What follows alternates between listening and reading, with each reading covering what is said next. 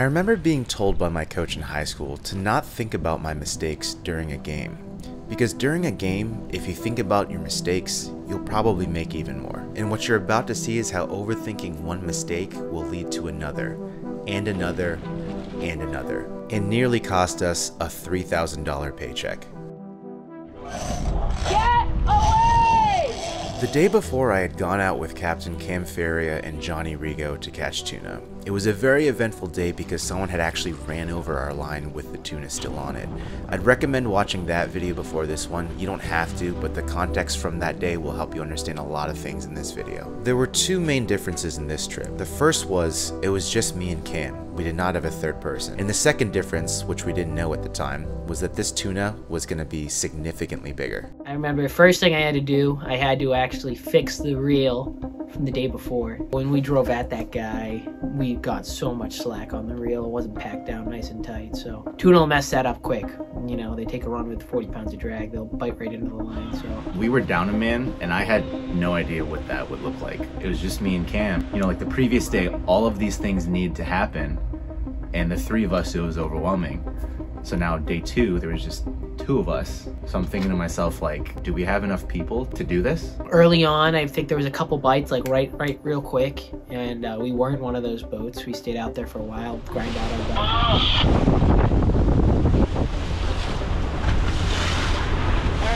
bite. We saw some birds up top birds working on some bait. We weren't marking too many fish, um, but I think that's typical for when the, the fish are up top like that. Um, you don't always mark them. You know, the previous day, that first fish had like 15 squid in its belly. You know, there's just like this clip of Cam just like pulling squid after squid out of that tuna's belly. And, you know, less than 24 hours later, we're in the exact same spot. You know, there's still tuna in the area. We're still marking fish. So, you know, why not use squid? Problem is there was so much mackerel. You know, you couldn't drop without um, getting the barbs on your squid jig bent out. Bro, they bent these barbs so bad that one of them, one of them snapped off.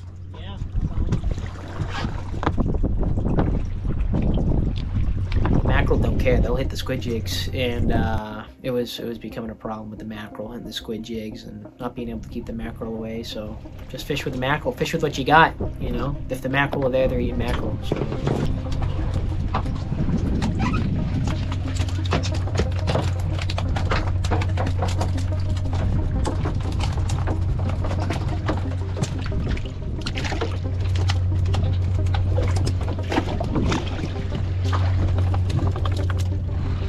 Eventually gave up with the squid and ended up just fishing the mackerel. And Cam did something that he usually doesn't do. I saw some fish up top working the piece, and this is something I've never done. I was like, Mike, let's try something different. Took a mac out of the live well, hooked him straight through the nostrils, which isn't where I usually hook them. Threw him out about a couple hundred feet behind the boat, and then pulled that mac straight through the pot of fish we had breaking. I just hear Cam say, We're on. And I look up and I see that that rod tip just dancing a little bit. Almost immediately, as soon as we got into that uh, that pot of fish, it was.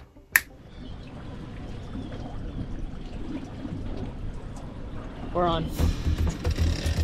What's that drag up? His first initial run or runs, you know, he may have taken a couple second break, but he, he dumped us for a good couple of minutes at the start. He took a run and took a couple second break and then took another run and took a couple second break and then took another run, and we, we almost actually ran out of line.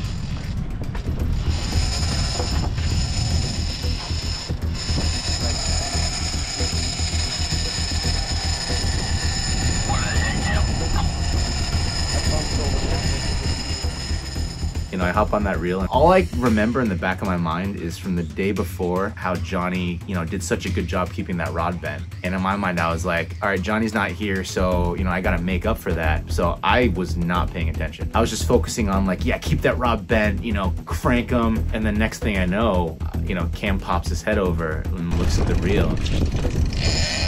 Watch out, watch out. First, I didn't even realize what happened. I didn't put two and two together until he started screaming at me to reel with like every ounce of my soul. Yeah, Mike was on the rod. I think I was coming back just to adjust the drag a little bit, and then I came back and I just I was like, oh, bucked it back to the uh, back to the console. And that's when I realized like we almost got spooled. And it was because I wasn't paying attention to how much line we had in the reel. You can see the gold on the spool. Uh, you know, I was so fixated on keeping that rod bent, I just had absolutely zero awareness about anything else that was going on at the time. That spool had 10 yards of line on it.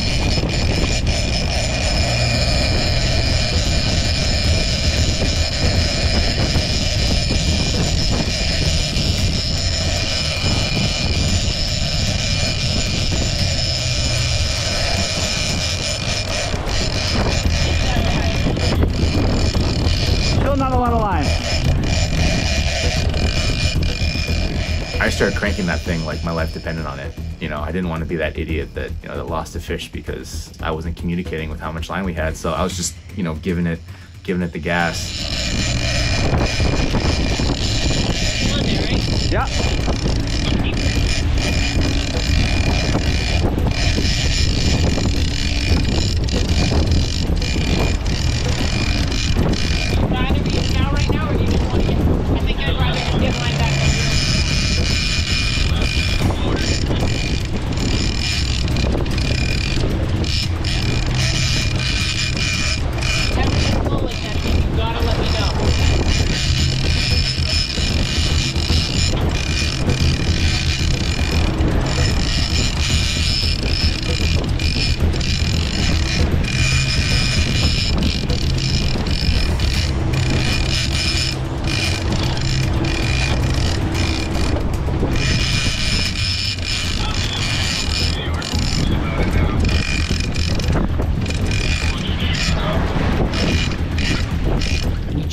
For about 10 minutes, I would say. Constantly gaining line on it for 10 minutes. Finally got to a point where we were comfortable to move the rod, slow down, let them work us a little bit, start playing the dance. To where the bow? I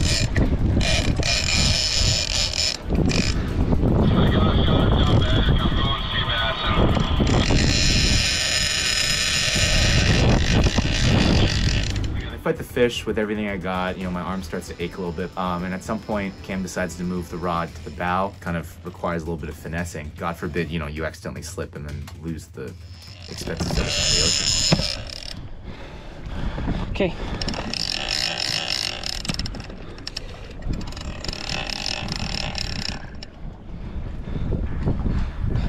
Okay. Once they are done with their runs, you kind of get to uh, an up and down battle, we call it. You know, fighting that fish straight up and down. He's dogging you, you're trying to dog him. Becomes a uh, battle of wills at that point. Once you get that fish up and down, they do what's called a pinwheel or a death circle. They call it a couple different things, but they rotate, you know, either clockwise or counterclockwise on their side, and uh, that's what it becomes in eight inches. So the size of the pinwheels he was taking, um, he was coming all the way out, and he was coming so far back, you know, we couldn't just keep the boat in reverse. We were having to going forward and swing around him because his he was coming back so far on his pinwheels that it was uh, becoming an issue. I think at I think at some point I call out to Cam. I'm like, you know, like let me know, you know, when you can tap in, or just like, you know, I was just trying to communicate. You know, I I wanted to make sure that this fish wasn't lost because of bad communication. So I was being like super clear, um, especially after that situation with almost losing losing all of our line, and I run behind the wheel. I, my experience driving center consoles is again not very extensive, so I was like crystal clear with Cam, like tell me exactly what orientation you want the boat, like how much gas, because again I didn't want the mistake that I made out of inexperience to be the reason that we lost the fish with just two of us. You kind of get the gist of what we're doing, right? Yeah, we're just keeping it at the head of the bow. And if you come at the boat, just put it, when you start to see him come at the boat, just put it in reverse. Got it. If you do it proactively, you shouldn't have to juice it. halfway through i realized like right next to me there's a milk crate and there's the harpoon line and it's completely tangled up like it's not even remotely usable as cam's fighting this fish i'm like thinking to myself like at some point this fish is gonna get within harpooning range and cam's gonna ask for the harpoon and it's gonna be a tangled mess so the harpoon line being tangled was like a major fixation point for me i was like who knows? This fish might be done fighting in like 10 minutes and this harpoon's gonna be tangled. I spent the next like 20 minutes just like my head down trying to untangle that dart line. Yeah, yeah, it was a, it was a stressful fight. Not as stressful as the day before, but you know, very rarely is there a calm tuna fight. So it was a it was an experience. Everyone is. Everyone's unique. Oh god!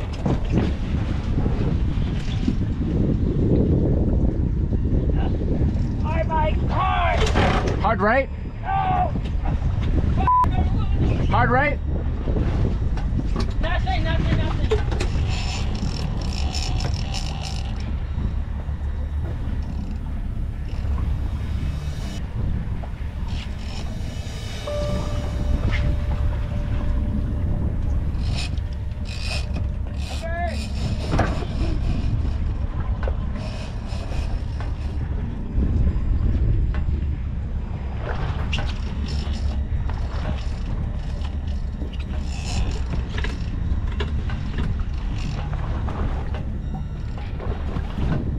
There were multiple times in which that that fish almost broke off. The line was touching the boat and I saw Cam have to go over the edge of the boat and like with his hand physically block the line from touching the boat.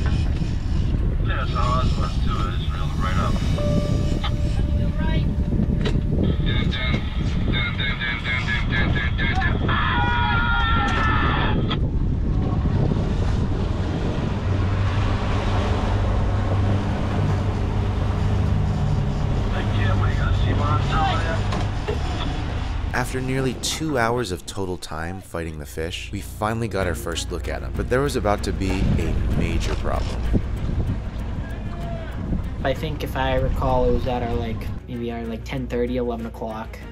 He came up on his side. Every time you get your first glimpse at that fish, it's it's it's a rush of adrenaline. You know, it is what we think he is. It's a good one. You know, we're gonna get to stick him, and uh, you know, just raises the stakes that much more.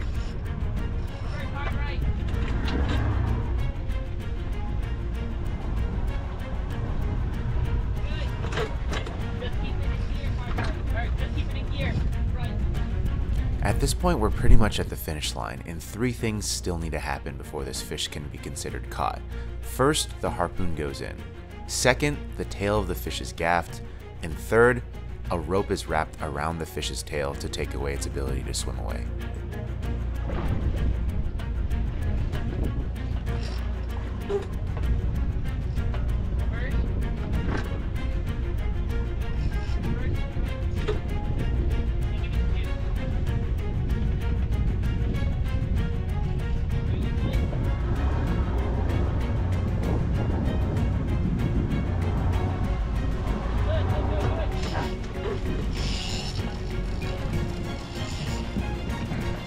Was there. He was kind of up on the surface, and I was like, I thought I was gonna be able to stick him with it. You know, just, just stick him with it. And he he looped. He was probably he was probably ten feet down, if I had to guess. He, he was pretty deep, and uh, I just had a, I just had a good shot on him, and you know, you don't pass up shot opportunities when you get them like that. And I hucked it. We have a pretty good shot of me tossing the stick. Our, my buddy uh, Reilly over at Dying Breed Sport Fishing, he, uh, he helped me out, got a good shot of that, and uh, I drilled him. I drilled him pretty deep.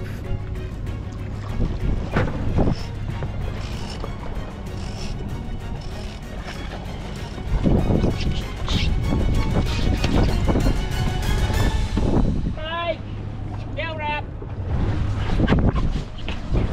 Where is it? Come on, Mike! I always keep the tail rope right behind me, right there. That way, when we gaff the fish, it's right there. Um, at the time, this wasn't common knowledge, and Mike was searching for that for that tail rope, and I was just getting the piss beat out of me. So I immediately jump up when Cam screams out for it and I start checking the boat and I can't find it. And I yell out to Cam, I'm like, where is it? And he's like, it's probably in one of the compartments in the stern. So I start looking through all the compartments and I can't find it. And uh, this whole time as I'm looking looking for this this tail wrap, I just hear Cam just like moaning, just like yelling. like he's getting absolutely throttled at the bow. Where is it? Come on, Mike! Where is it?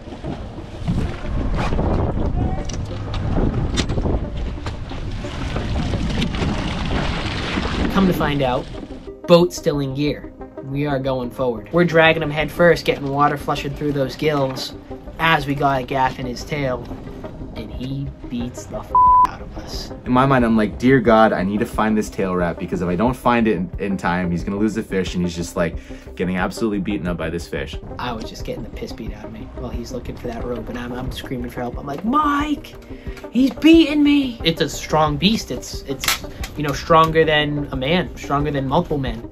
Um, I mean, it is literally like getting beat. What I do end up finding is, you know, just some ratty, ratty rope that was for, you know, the bumpers for the boat. And I bring those up to the bow because it's the only thing I could find. And there I see it. The tail wrap is just beautifully on top of the cooler, right behind Cam. I'm going in. Like, I wasn't scared for my life. I was scared I was going to lose the gaff. I'm not letting that gaff go overboard. I was going into that gaff. Right here. Help!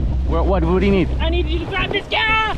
Ah! I go over to Cam and I'm like, what do you need? Because at this point I realized like I have done so much wrong up until this point. I don't want to do anything unless I'm instructed to do it. So I'm like, what do you need? And Cam at that point screams like, I need you to grab this gaff. And as he's screaming that, the fish like pulls him overboard. You see his legs like like spread out because they're the only things that are keeping him from being pulled overboard. So he like he screams, I need you to grab this gaff as he's being pulled, his legs spread, and I'm like in my mind thinking I need to grab his legs to make sure he doesn't go overboard. But thank God, thank God he doesn't. I need you to grab this gaff! Ah! Ah! Here, help me grab it! I'm right here. Oh, you got it?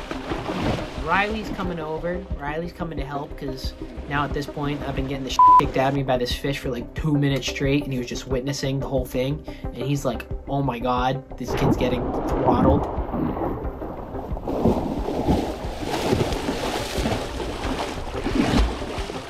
So I go over and grab the gaff, and that's when I finally get a piece of what Cam had been dealing with for the past like 90 seconds. This fish absolutely just like unloads on me.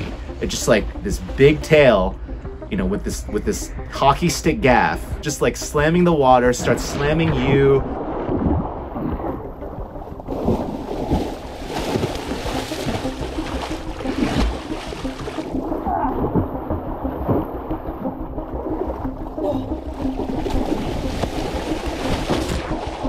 That was when the fish comes off the gaff.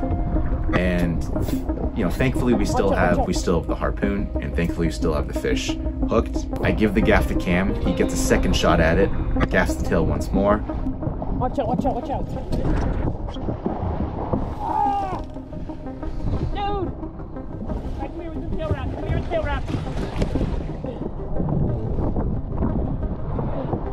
Try and hurry, Mike. Trying. Mike's trying to get the tail rope, and he just can't figure out how to set up the tail rope. You just you just pull the line through the loop, and put the loop over the tail, and cinch that thing up. And uh, yeah, that was difficult for him at the time. Tail wrap. Okay, my right, my right, my right.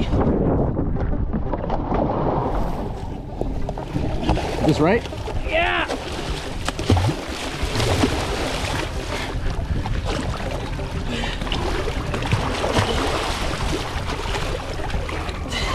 And that was when I realized I don't know how to do a tail wrap.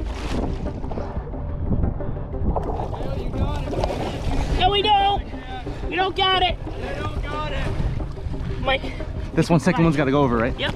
I had kind of did it the day before. Like I got it ready and I put it over the tail, but like looking back over the footage, I, Cam was the one who ultimately set it and did the loop. So I'm like thinking to myself, like putting over this tail wrap, trying to imagine what happened the day before, and I'm like doing it wrong. And there's basically this series of like fumbling, and then I failed the first attempt, and I failed the second attempt. No, no, no. The other way, Mike. You know, after like the second or third time trying and failing, I'm like, oh, Mike, Mike, just take the gaff.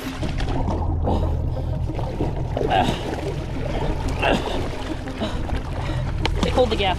the gaff. Got the gaff. A tractor on my leg. Tractor on my leg. as Cam grabs the the rope from my hands, I feel that there's it, it's wrapped around my leg. If Cam put that that tail wrap on the fish and it takes off, I'm either going in or my leg is going in without me. They grow back. The legs grow back. So.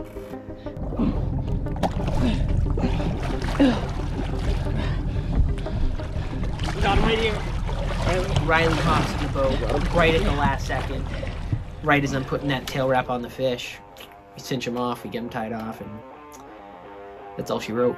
I saw you battling forever. I was like, I'm gonna stay here in case you guys. Fuck yeah, nice work. Okay, take it. After the fish's tail was tied off, we had to put a second line in the head of the fish and then bleed it out.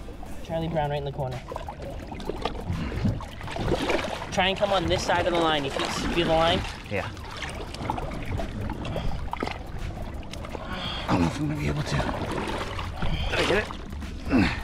What side of the line are you on? Can't tell.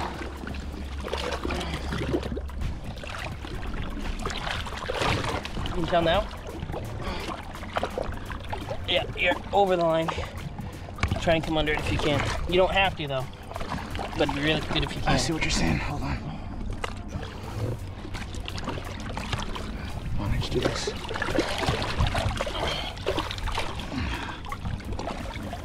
Yep, that's good. Now, put that through that loop. And pull it all the way through? Yep.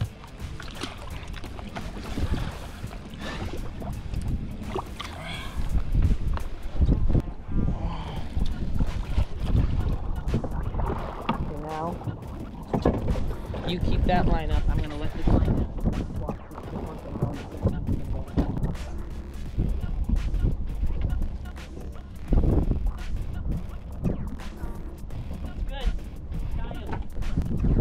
At this point, the fish still needed to be brought into the boat, so Cam recruited one of his buddies, Joe, to come over and help us. The previous day, Cam had also sliced open the top of his finger, so he actually needed Joe to help him also clean the tuna.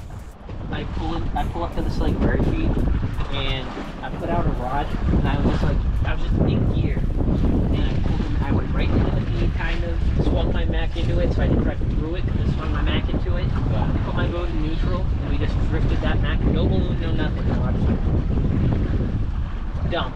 We were so low. That thing is, that's an 80 200 pound dapper on it. It got so low, I could see the gold spool underneath. I- when I saw that, I just gunned it. I was like, oh my god. we're Something crazy because Uh-huh. everyone's like, Yeah. Alright, we gotta like we gotta move this live well. Yeah, I know. Dude, it wasn't shaping out to be a good year and then now I've got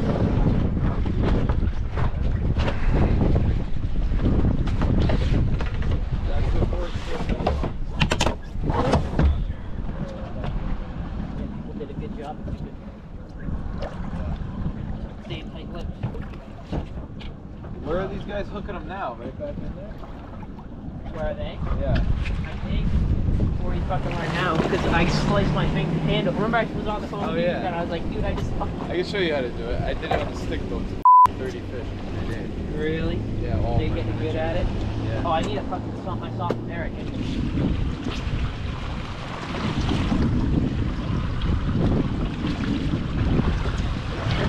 My finger hurts, Mikey.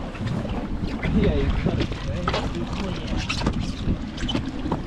You're gonna want 'em. Oh, yeah.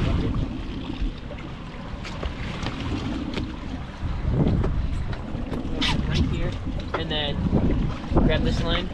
You're gonna want to pull them. You're gonna want to go over there, Mike. You're gonna want to pull them up and across, kind of.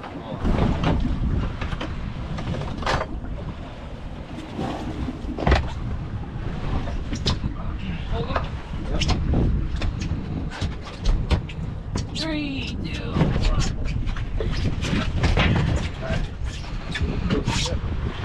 Three, two, one. Three, two, one.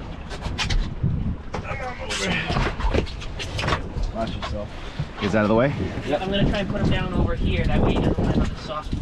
This right part of my neck is soft. Yeah, go ahead. Oh, yeah. Look, he's big. 104. Yeah, it's a big fish. Yeah, he's big.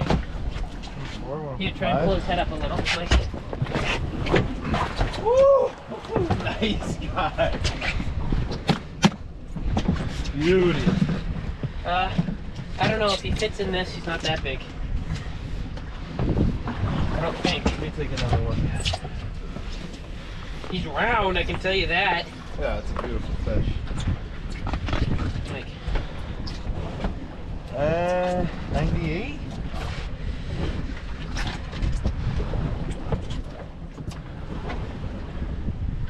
oh, that's f***ing good. That's nice bad. Look at that thing, huh? That's a beaut. So, F***ing donk.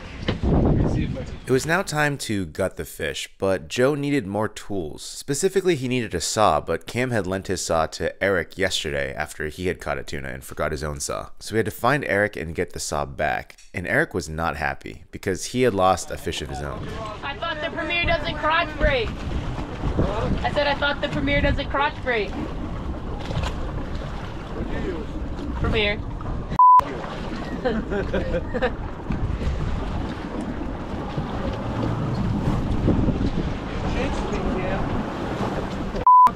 Fucking thing was drag, bouncing like a motherfucker. I'm like, you fucking kidding me. What, the hook? Right at the hook. That is a round motherfucker. Right? Fish. 98. I know, it does. Over here, this one ran over here. We're right on the wheel, perfectly. The things come by us, no bite. These guys just see crap run by us, get in front of the wheels, and doubled up.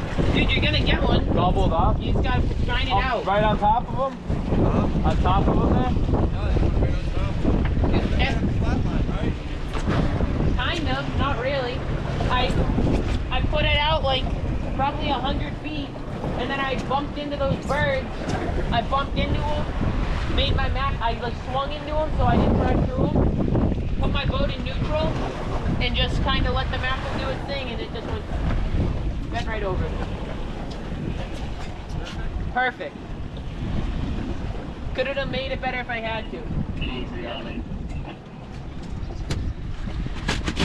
You don't come all the way down to like the lower jaw? No. Maybe that's why it's always a for me. I mean, on the stick boat, sawzall. You sawzall our head right off. The whole thing. Yeah.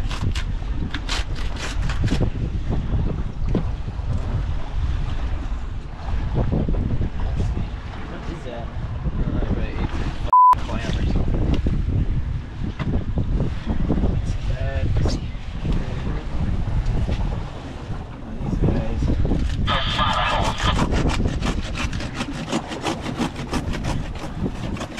This just makes it easier. Sometimes you can leave them on.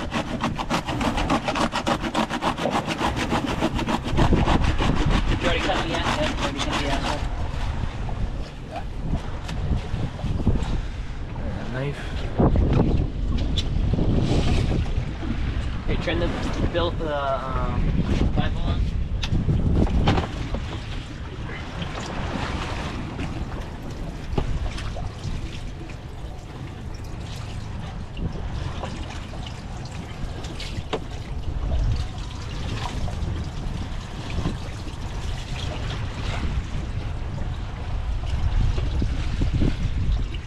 Oh, that hurts.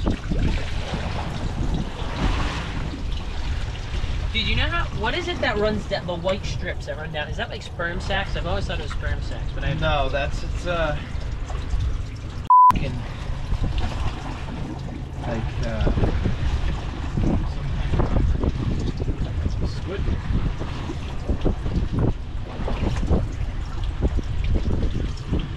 dude a nighttime squid charter out here. Oh, I could, I could murder him. Oh, you clean up.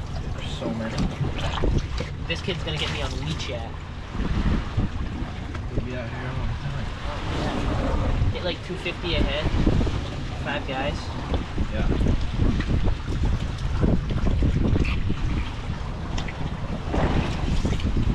Yeah, see, dude, it's not even full. Spit it all out. couple macros.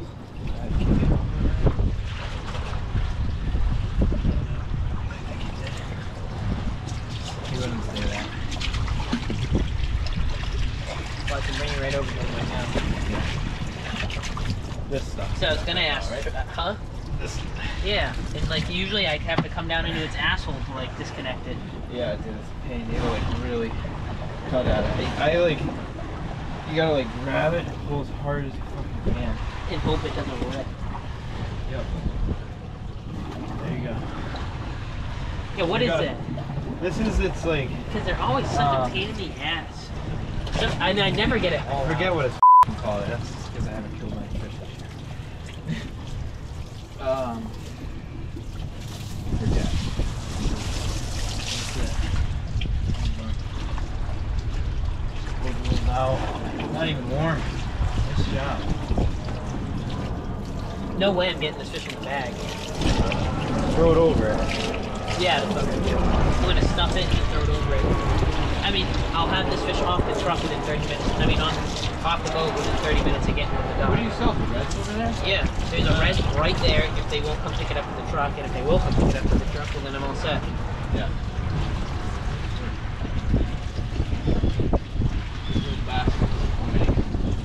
Huh? Kill. Did Keegan come up here?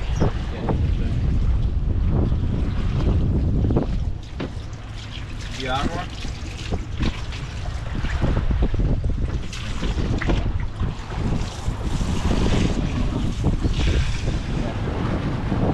Huh?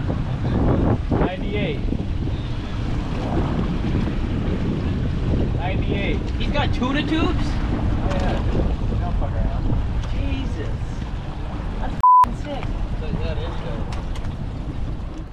Eventually, Joe's ride arrives, so we thank him for his help and say goodbye.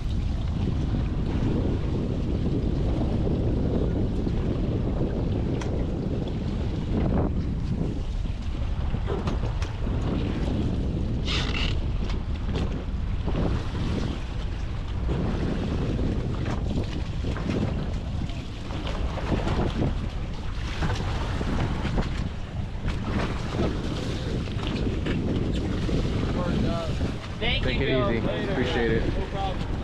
I'm sorry about the scuff, Keegan.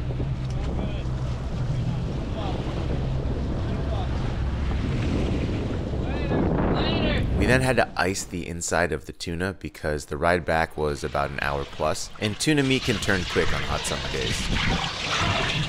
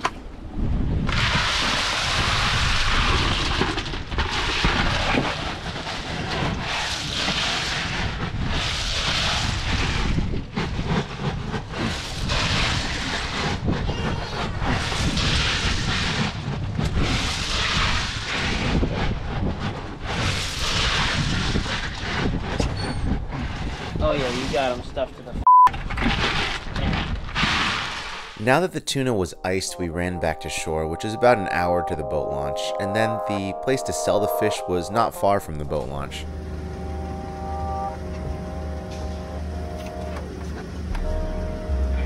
I left my permit at home. I was just digging around my email. I got in my email. Okay, as long as you, you got it,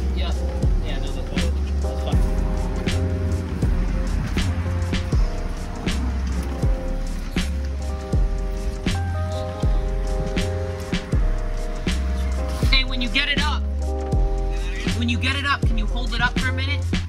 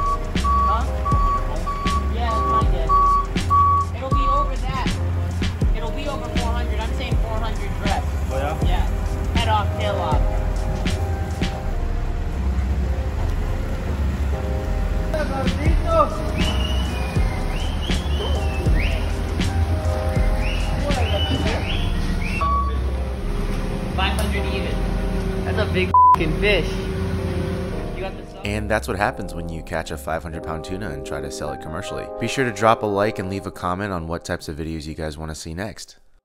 Walk me through the hockey stick gaff. like how it came about. Yeah.